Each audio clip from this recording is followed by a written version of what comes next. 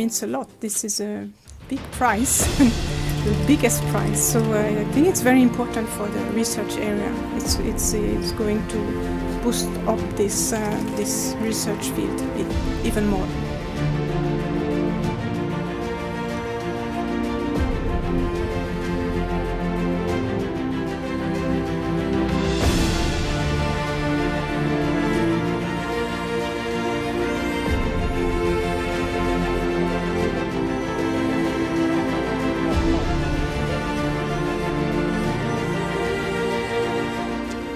Royal Swedish Academy of Sciences has decided to award the 2023 Nobel Prize in Physics in equal shares to Pierre Agostini, Ohio State University, USA, Ferenc Krausz, Max Planck Institute for Quantum Optik, Garching, and Ludwig, Ludwig Maximilians Universität München, Germany, and Anne L'Huillier, Lund University, Sweden.